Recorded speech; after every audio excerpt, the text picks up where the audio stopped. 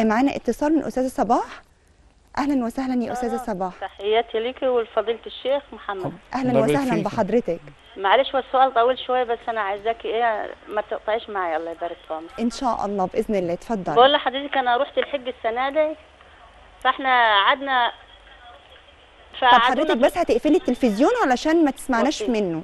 تمام؟ بقول لحضرتك رحنا الحج السنة دي. تمام. آه بعد كده الساعة أربعة ونص طلعونا من آه من المكه قعدنا في الأتوبيس لحد الساعة 12 وصلنا نجيب الجمرات كانت الساعة 12 فقالوا لنا لو عدت الساعة السواق قال لو عدت الساعة 12 يبقى في ذبح. بعد كده دخلنا قال ما يجراش بالراحه كده يا حاجة. بعد إذن حضرتك يا حاجة صباح لو سمحت. نعم.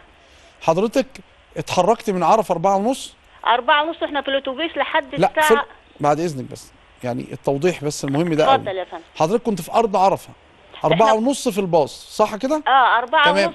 ونص سمحت، الباص. بينا واقف ثواني يا أستاذة صباح بس الشيخ محمد عايز يستفسر على حاجة معلش اسمعي سؤاله. بعد إذنك نعم. حضرتك فضلت في الباص في الأتوبيس لحد الساعة 12 ونص في نفس المكان ولا من أربعة ونص انتقلت المكان تاني لا في أربعة ونص إحنا لسه ما ممشيناش وإحنا قاعدين قالوا ده الطريق مقفولة قعدنا قاعدين لحد المهم اتحرك بينا عشرة ونص وصلنا الساعة 12 إلا عشرة نروح نجيب الجمرات. يعني اتحرك في الأتوبيس المزدلفه 10 للم... ونص. للمزدلفة تمام. آه فنزلنا الساعة 12 أيوة. نزلنا الساعة 12 من الأتوبيس لمينا الجمرات وصلينا الركعتين والساعة 2 طلع بينا ودانا فين؟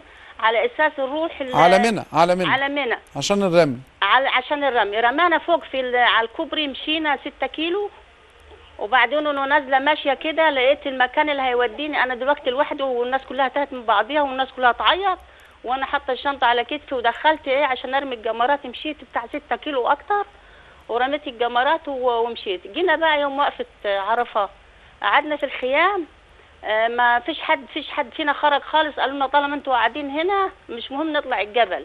فما طلعناش الجبل ولا رحناش المسجد اللي بيروحوا يصلوا فيه ده اللي هنا. تمام. ده في تمام. عرفة. تمام. آه ده في عرفة.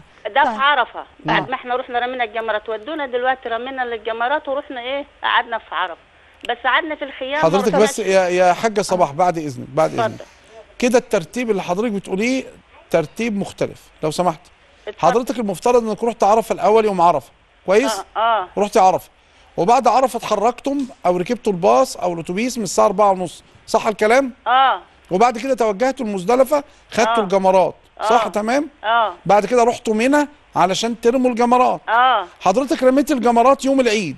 رميت الجمرات. يوم العيد؟ آه الصبح. آه يوم العيد الصبح. آه. كده حجك خلص باقي بقى باقي الأعمال. طيب سؤالك إيه؟ يعني سؤال بقى. صحيح. الحج صحيح بتتكلم على فكرة إن هي راحت وصلت آه، الساعة 12 المزدلفة؟ آه فبيقولوا إن كده يبقى صحيح. عليها إن هي تذبح. حجها صحيح ولا صح مش ده سؤالك يا أستاذة صباح؟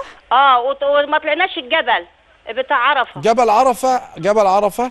آه. يعني آه، آه، النبي صلى الله عليه وسلم لم يصعد هذا الجبل. جبل الرحمة مش جبل عرفة. آه. جبل الرحمة ده لا يسن صعود هذا الجبل. النبي صلى الله عليه وسلم وقف عنده وما صعد رسول الله صلى الله عليه وسلم الجبل مطلقا واسمه جبل الرحمة. عشان ما رحتش المسجد ولا رحت جبل الرحمة حجك صحيح؟ فقال صلى الله عليه وسلم وقفتها هنا وعرفت كلها موقف. طب ليه قالوا لها إنها تذبح؟ هل في لخبطة في الموضوع ده في حاجة يا شيخ محمد؟ أكيد حد مش فاهم منها حاجة.